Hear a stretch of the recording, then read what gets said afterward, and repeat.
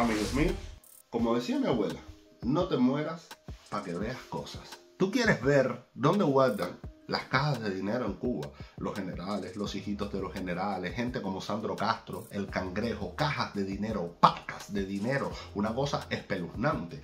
Bueno, ahora ellos quieren, con todas estas nuevas regulaciones económicas, que tú cojas todo tu dinero y lo metas en los bancos de ellos para ellos después hacer con ese dinero lo que les dé la gana. Pero yo te voy a preguntar una cosita. ¿Ellos guardan el dinero en los bancos?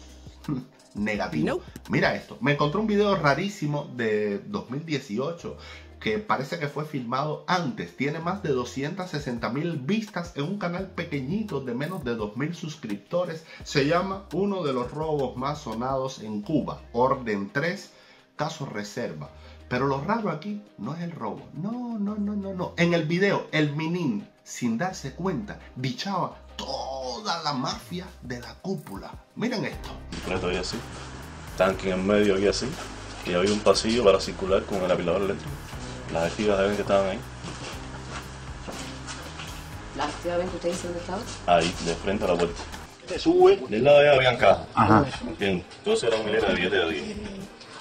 Menos estincado que yo estaba ahora mismo, le hice. Ellos se ponían a estivar allá. ¿Quién eran ellos que se podían activar? A Nosotros de este lado.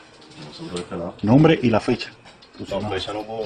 Bueno, sabemos que lo que tú explicaste. Don finales del 15, Sí, no, no, sé qué, que finales del 14, don el 15. la- lo mismo que tú explicaste en tu declaración. A ver, Alberto, vamos a ubicarnos. Final del 14, principio del 15. Eh, lo que sí les puedo decir es que al- eh, yo entré y al, no sé, un mes, dos meses de, ¿En qué fecha entró usted? haber entrado. Ya expliqué qué fecha exacta no tengo, pero sí fue finales del 14 y principio del 15. Allá. Ellos vigilaban. Simulando el trabajo. Ajá. Y entonces yo procedía, ahora ese mismo vuelo, con caravana en el nicho. Tiraba la caja al revés, como el detrás tira atrás, no se veía completo. Y la caja se encuentra abierta por abajo. Y de ahí yo sustraía, me estaba la, la caja en las piernas, sustraía la palgata. Y entonces la volvía a poner abajo. Y la que estaba abajo la ponía arriba. Estamos hablando de las cajas que usted lo ponía en su lugar. Ajá. Después usted. Después se procedía a quitarle el nylon a la palgata y a poner con caja. La caja esta.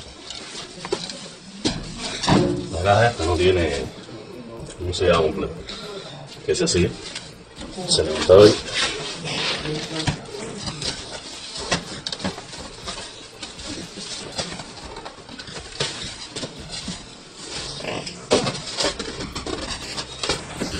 Se cogía así. Dejaba adentro. ¿Ya? A salvo. Poner el cartón, se rompe. Se rompe el cartón. Tiraba acá, se le ponía la otra, se ponía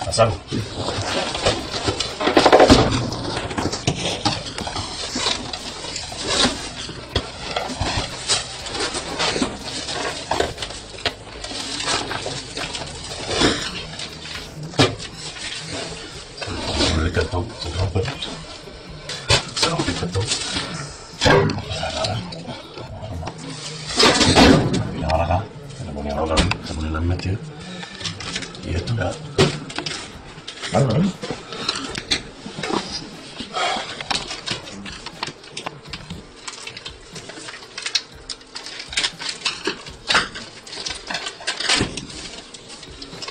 Ahí nunca salía así.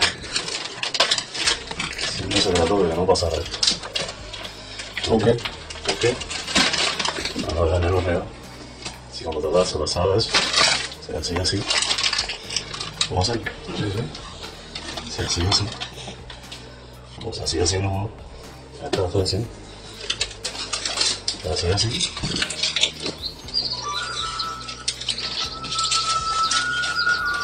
Y después se procedía entonces ya eso es donde estaban nosotros investigando. A ver. Está en la esquina que. Digamos, porque eso estaba en la caja aquí. La vestida de delante. Daba. Desde ahí. Desde esa tercera. Ese rato donde estaba la fotógrafa. Hasta aquí. Esta parte. Ya. Ese tío hasta el tanque ese. Sí. Hasta ahí. Ahí mismo. En ese hueco. Nos había metido así. Y así no se usa. Aquí era hueco completo. ¿Y dónde es que repartían? Ah, Eso se cogía. O yo se lo daba cuando me, cuando me iba para acá. O lo hacíamos muy rápido. Y salíamos todos ¿Y salían todos? por aquí por allí. Entonces fuimos investigados. que se levantaban las activas, era muy poco probable que tuviera salir. Por el mismo no. En la noción tú llegaste a sacar hasta tres. A ver, a ver si sacábamos uno, a ver si sacábamos tres. Saca dos más.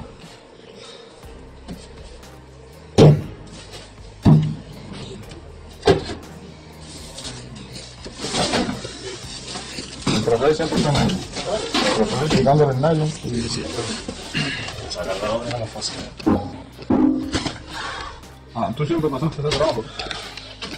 ¿Cuál es la diferencia? tío? A mano. ¿Ustedes se dieron cuenta? Ustedes vieron todas esas cajas, cajas repletas de dinero.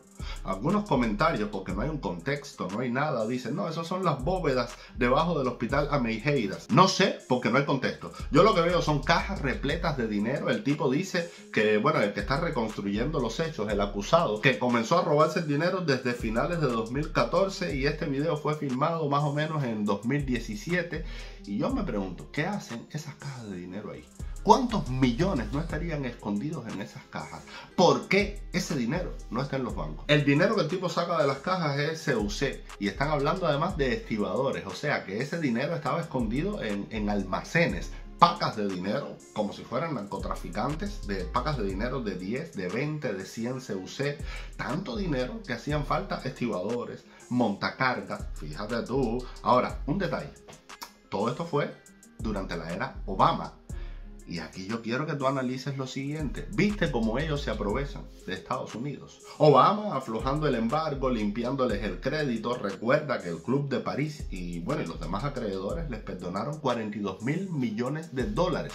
Amigos míos, y hacemos una pausa. Este video viene patrocinado por Amaury Design, nuestro diseñador estrella. Si tú quieres que tu casa se vea hermosa, con un diseño espectacular, todo cuidado hasta el más mínimo detalle, que tú entres a tu casa y sea como entrar en otro mundo, en otra galaxia, usted tiene que llamar urgentemente a Mauri Design. Marca este número que ves en pantalla, que es tu número de la suerte, y date la casa que tú te mereces, haciendo de lo ordinario algo extraordinario. A Mauri Design.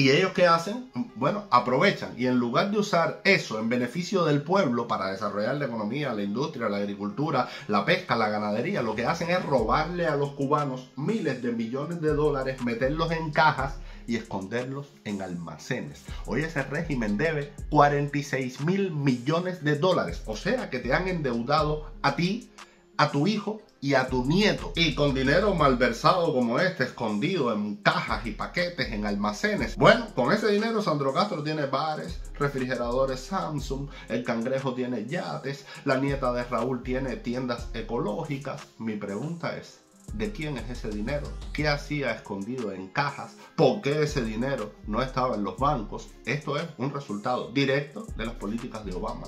¿Viste lo que trae? Darles oxígeno. Hoy Cuba tiene más crisis que nunca, los cubanos tienen más hambre que nunca y hoy más que nunca ellos allá arriba viven como Carmelina con negocios, empresas, subiendo y bajando el precio del dólar a través de sus testaferros, chupándole dinero a la gente, ahora una cacería de brujas contra las MIPIMES y ellos gozando allá arriba después de tener todo este dinero escondido y este es el que estamos viendo por un dichave del Minin, sabrá Dios, en los paraísos fiscales, las empresas fantasmas, etcétera, etcétera, etcétera. Recuerda que ellos hoy quieren que tú metas tu dinero en sus bancos para, para ellos armar todo esto. Este video es la prueba, pacas de dinero escondido en almacenes como hacen los narcotraficantes, ellos gozando la vida y tú esperando la muerte. Precisamente por cosas como esta que nos enteramos años después, porque son parte de todos los tejemanejes y las cosas turbias que ellos manejan a lo interno, es que yo apoyo que salga Trump. Mira, cero oxígeno, se acabó la fiesta.